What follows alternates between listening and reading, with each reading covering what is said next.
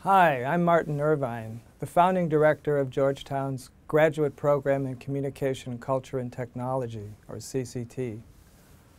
I've been a professor at Georgetown for over 25 years now, and for most of the time, I've been involved in internet technologies and in research, theory, and teaching in media and communication. I am also interested in all forms of digital technology and creative media like art and music. I'm interested in a wide range of topics from digital media to the study of communication and computation to contemporary art, music, remix culture.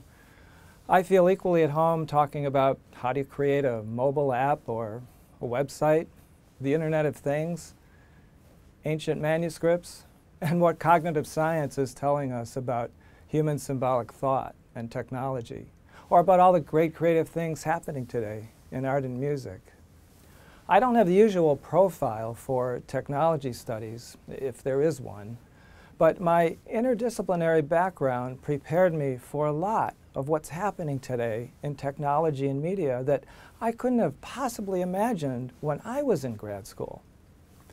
I did my PhD at Harvard and specialized in languages and literature, ancient and modern, in linguistics, in semiotics, and philosophy of language. And I've always been fascinated by language, code, methods of representation, methods of interpretation, and how cultures create their meaning systems symbolically. Now, a big breakthrough happened for me when I began writing my dissertation in the early 1980s. A friend of mine who was working in Ray Kurzweil's lab on speech recognition told me I needed to learn computing and write my dissertation on a computer. And he'd rent me some time on his office system. So I dove in and learned Unix, a little C programming, and something clicked.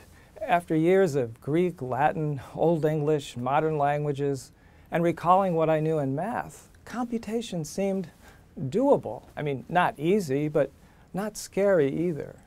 Uh, I didn't know it at the time, but I was the first liberal arts PhD at Harvard to write a dissertation on a computer.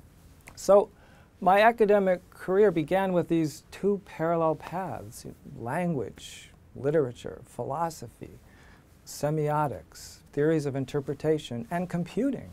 And then the internet really changed everything. I, I, learned how to use the internet in 1988, and then I set up uh, the first website at Georgetown in 1993. I learned how to develop my own web content, and in 1995, after working with the university and lots of technology initiatives, I was asked to help start a new interdisciplinary graduate program devoted to communication, media, and information in the context of the internet and the digital environment. And CCT began with its first class of students in 1996. For 19 years, we've been developing a distinctive interdisciplinary approach, and this course is a kind of synthesis of the multidisciplinary ways of thinking that I use in my research, teaching, and publications. I'm working on a book that develops some of the ideas in this course in greater detail. Learning computing taught me to never think you can't learn something or that some fields aren't for you. I've always been motivated to see the big picture, how things connect, and, and dive in to learn the fields that converge around a complex problem. And the background for this course is a great motivator for developing this way of thinking. This course is for non-technical people who want to understand important concepts behind all the major technologies that define our lives today. You don't need to be an engineer or a computer science major to get these concepts.